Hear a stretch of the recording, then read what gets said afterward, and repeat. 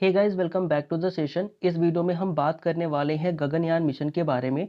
ये जो हमारा गगनयान मिशन है, वो काफ़ी ज़्यादा रेलिवेंट टॉपिक है आपके UPSC CAPF assistant commandant 2023 exam के लिए। इस टॉपिक के ऊपर बेसिकली हम रिपोर्ट राइटिंग देखने वाले हैं और इस टॉपिक का रेलिवेंसी आप बस ऐसे पता कर लीजिए, क्योंकि ये जो टॉपिक है, वो काफ़ी ज़्यादा इशूज़ के अंदर रहा है और इसके ऊपर आपको एडिटोरियल काफ़ी ज़्यादा देखने को मिले हैं। तो इसलिए हम बात करेंगे कि गगनयान मिशन के ऊपर हमारी रिपोर्ट क्या हो सकती है। तो आइए वीडियो को स्टार्ट करते हैं। तो जब भी हम रिपोर्ट लिखते हैं तो रिपोर्ट लिखने के लिए हमें एक फॉर्मेट मिलता है और उसी फॉर्मेट को हमें फॉलो करना चाहिए। और इस फॉर्मेट की अगर मैं बात करूँ तो इस फॉर्मेट के अंदर बेसिकली आप क्या कर सकते हैं कि सबसे पहले आप जो है अपनी हेडिंग लिख सकते हैं। हेडिंग के बाद आपको लिखना होता है कि ये कौन लिख रहा है, यानी कि अपना नाम लिखना होता है। तो एग्ज़ाम के अंदर हम नाम नहीं लिख सकते, इसलिए हम क्या लिखेंगे? स्पेशल कोरेस्पॉन्डेंट या फिर एक्स वाई सेट या फिर एबीसी जो भी आप लिख दीजिएगा। इसके बाद हमें लिखना होता है प्लस प्लस के अंदर आप एग्ज़ाम हॉल का प्लस लिख दीजिएगा या फिर कोई भी रैंडम आप प्लस लिख सकते हैं। इसके बाद में बात करूँ तो हमें डेट लिखनी होती है और डेट अमूमन आप पास्ट की ही लिखते हैं क्योंकि रिपोर्ट आपको देनी होती है तो वो पास्ट की ही होगी। तो इसलिए हम पास्ट की ही क्या करेंगे? डेट को यहाँ पर लिखेंगे। अब शुरू करते हैं अपने कंटेंट से कि हमारा कंटेंट इस रिपोर्ट के लिए क्या हो सकता है। तो बेसिकली हमारा कंटेंट ये हो सकता है कि according to the Indian space research organisation जिसे हम इसरो कहते हैं तो इसरो के अनुसार अभी क्या हुआ था कि the Gaganyaan project is aimed at showcasing India's ability to send humans into space कहने का मतलब क्या है कि जो हमारी इंडियन स्पेस रिसर्च ऑर्गेनाइजेशन जिसको इसरो कहते हैं उसके अनुसार गगनयान जो प्रोजेक्ट है, उसका लक्ष्य क्या है? उसका लक्ष्य ये है कि भारत जो है, वो क्या करे, प्रदर्शित करेगा कि उसके पास भी ऐसी एबिलिटी है कि वह अपने ह्यूमन को स्पेस के अंदर भेज सकते हैं। यानी कि ह्यूमन को स्पेस के अंदर भेजने की जो एबिलिटी है, वो गगनयान प्रोजेक्ट के अंदर हम क्या कर सकते हैं, प्रदर्शित कर सकते हैं अकॉर्डिंग टू इसरो यानी कि इंडियन स्पेस रिसर्च ऑर्गेनाइजेशन इसके बाद हम क्या लिख सकते हैं कि the plan is to launch a crew of three people and have them orbit the earth distance of 400 kilometres for a mission lasting three days क्या कह गया ये? ये ये कह रहा है कि देखो, जो हमारा ये प्लान है ना the plan is to launch यानी कि ये जो हमारा प्लान है, इसके अंदर हम क्या करेंगे? लॉन्च करेंगे अपने थ्री कोर क्रू मेंबर्स को, यानी कि जो हमारे थ्री क्रू मेंबर्स होंगे, उनको इस प्लान के तहत हम क्या करेंगे? लॉन्च करेंगे और वो बेसिकली क्या करेंगे? वो जो हमारी अर्थ की ऑर्बिट है, उसका वो परिक्रमा करेंगे। कितने डिस्टेंस से बेसिकली जो 400 किलोमीटर की डिस्टेंस होती है, वहाँ से वो उसकी परिक्रमा करेंगे। और ये परिक्रमा कितने दिनों तक चलने वाली है? तो ये बेसिकली जो हमारा मिशन है, उसके अंदर ये परिक्रमा हम बेसिकली तीन दिन करने वाले हैं। आफ्टर कंप्लीटिंग द मिशन और ये जब तीन दिन खत्म हो जाएँगे, जब ये हमारा मिशन खत्म हो जाएगा तो क्या होगा कि the crew will return safely to the earth यानी कि जो हमारा ये मिशन खत्म हो जाएगा तो जितने भी हमारे क्रू हैं, जो तीन क्रू मेंबर हमारे गए हुए होंगे, वो क्या होंगे? वापस पृथ्वी पर उनकी लैंडिंग कराया जाएगी, जो कि इंडियन सी वाटर्स के अंदर कहीं उनकी लैंडिंग होनी है। The project was initially developed in the 2007 and revived और रिसीव्ड ऑफिशियल अप्रूवल इन 2018 कहने का क्या मतलब है? तो ये जो हमारा प्लान है इनिशियली इसको डेवलप किया जा रहा है 2007 से और इसको जो गवर्नमेंट की अप्रूवल है, वो बेसिकली कब मिली थी? 2018 के अंदर गवर्नमेंट ने भी इसे अप्रूव कर दिया था कि इस प्लान के ऊपर हम काम कर सकते हैं। It has a budget of rupees ten thousand crore और इसकी जो बजट है, वो अमूमन ऐसा बताया जाता है कि इसका बजट जो है, वो टेन थाउज़ेंड करोड़ रुपए होने वाला है जब हम गगनयान मिशन की बात करते हैं। इसके बाद हम नेक्स्ट पैराग्राफ के अंदर क्या लिख सकते हैं? नेक्स्ट पैराग्राफ के अंदर हम ये लिख सकते हैं कि human space flight will serve as a source of inspiration from young people and the entire nation कहने का क्या मतलब है? ये जो ह्यूमन स्पेस फाइट प्लान है, जो हम बना रहे हैं, ये बेसिकली क्या करेगा? कहीं ना कहीं हमारे जो यंग पीपल हैं और जो पूरा का पूरा देश है, कहीं ना कहीं उसको ये प्रेरित करेगा। ये प्रेरित क्या करेगा? तो बेसिकली इसकी प्रेरणा से होगा ये कि it will motivate a large number of student ये जो हमारे बहुत बड़ी संख्या में जो स्टूडेंट है उनको कहीं ना कहीं मोटिवेट करेगा। To pursue their career in science and technology तो ये बेसिकली क्या करेगा? जो हमारे लार्ज नंबर ऑफ़ स्टूडेंट है ना, उनको कहीं ना कहीं ये परसू करेगा कि आप अपना करियर किसके अंदर देखिए, जो साइंस और टेक्नोलॉजी है उसके तरफ़ आप अपने करियर को जो है वो मूव करिए। कहीं ना कहीं इसके लिए जो है मोटिवेट करेगा हमारा ये ह्यूमन स्पेस फाइटर प्लान ठीक है? इसके बाद हम क्या लिख सकते हैं? कहीं ना कहीं, अगर जो हमारे स्टूडेंट्स हैं, वो अपने करियर को साइंस और टेक्नोलॉजी की तरफ़ परस्यू करते हैं तो contributing to the development of our country तो कहीं ना कहीं हमारी जो कंट्री की डेवलपमेंट है, उसमें कहीं ना कहीं वो भी अपना योगदान दे पाएँगे। India will become the fourth country to launch as a human space mission यानी कि पूरे दुनिया के अंदर, जो भारत है, वो हमारा चौथा ऐसा देश बन जाएगा, जिसने कि ह्यूमन स्पेस मिशन जो है, वो लॉन्च किया है, अगर हम इसे सक्सेसफुली कंप्लीट कर लेते हैं तो।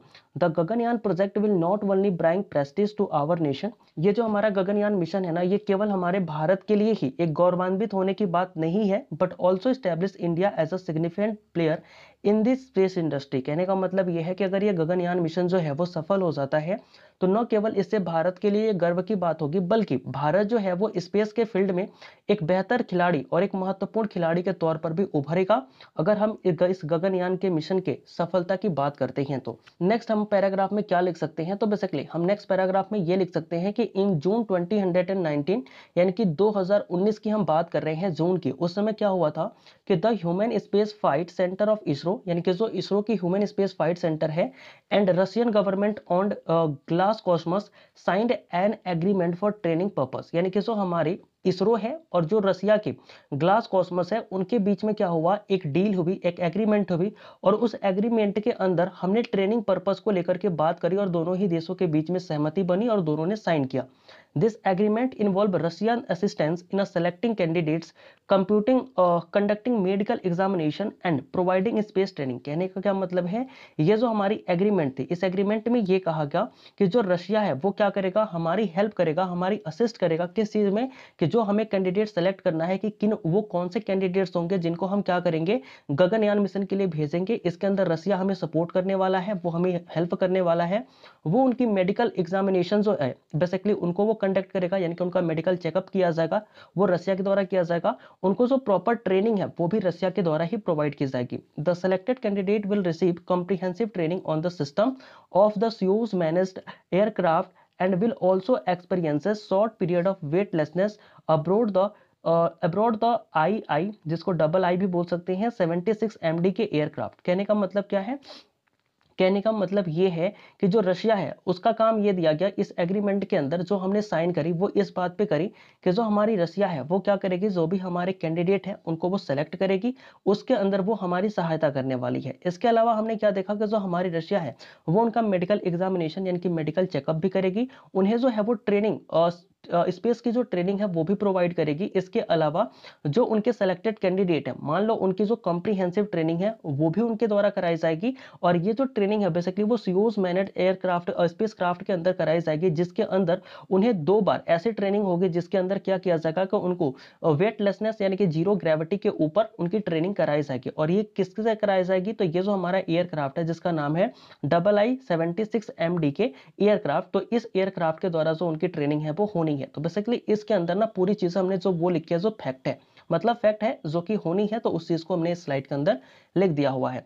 नेक्स्ट हम बात करते हैं नेक्स्ट हमारी क्या होती है? The first crewed mission on the Gaganyaan of the Gaganyaan project which aims to demonstrate India's human space flight capability कहने का मतलब क्या है कि ये जो हमारी पहली क्रूड गगनयान प्रोजेक्ट है ना, ये क्या कर रही है? इसका लक्ष्य ये है कि जो भारत है, भारत का जो ह्यूमन स्पेस फाइट कैपेबिलिटी है, वो दुनिया के सामने बताई जाए। लेकिन ये जो कैपेबिलिटी है ना हैज़ फेस्ट सेवरल डिलेज, लेकिन इस कैपेबिलिटी के अंदर भी काफ़ी सारे जो डिलेज हैं, जो देरी है, वो देखने को मिली है। यानी कि जो हमारा ये फ़र्स्ट क्रूड मिशन है, गगनयान है, इस प्रोजेक्ट का जो बोल सकते हो, एम था, जो लक्ष्य था उसको पूरा करने के लिए ना हमें काफ़ी सारे मुसीबतों का सामना करना पड़ा और अभी भी उसमें देरी चल रही है।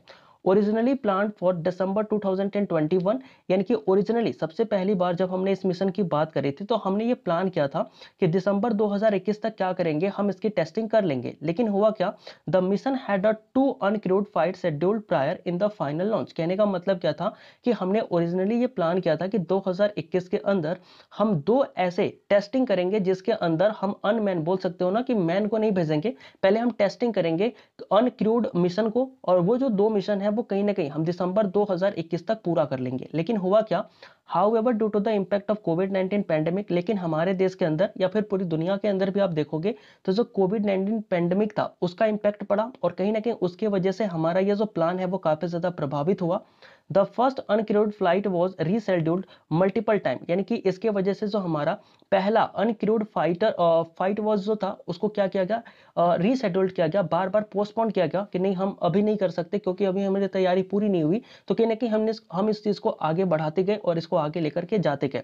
लेकिन हुआ का with the latest announcement, stating a revised time for time frame for late 2013 और अर्ली 2024 कहने का मतलब ये है कि इसके अलावा, जैसे कि हमारी चीज़ें रीशेड्यूल्ड होती रही कि हम इसे बाद में कर लेंगे, बाद में कर लेंगे, लेकिन अभी क्या हुआ कि गवर्नमेंट की तरफ़ से एक लेटेस्ट अनाउंसमेंट किया गया और उस अनाउंसमेंट के अंदर ये बात कही गई है कि जो हमारा टारगेट है, यानी कि हमारा टारगेट ये है कि हम दिसंबर 2023 तक क्या करेंगे इस गगनयान मिशन का जो है वो कहीं ना कहीं टेस्टिंग कर लेंगे, या फिर अगर दिसंबर में भी नहीं होता तो 2024 के जनवरी महीने के अंदर हम इसका जो टेस्टिंग है वो कर लेंगे। डिस्पाइट दिस सेटबैक यानी कि इस असफलता के बाद भी कहीं ना कहीं हमें जो है वो बधाएँ आई हैं हमारे इस मिशन के अंदर, लेकिन इसके बावजूद भी the government remains committed to ensuring the safety and success of the mission लेकिन जो गवर्नमेंट है, वो काफ़ी ज़्यादा कमिटेड है और वो चाहती है कि ये जो हमारा मिशन है, वो काफ़ी ज़्यादा सेफली तरीके से और सक्सेसफुली कंडक्ट हो जाए और इसको लेकर के हमारी जो गवर्नमेंट है, वो काफ़ी ज़्यादा कमिटेड भी दिख रही है। तो ये थे बेसिकली हमारी रिपोर्ट जो कि हम गगनयान मिशन के ऊपर देख सकते थे।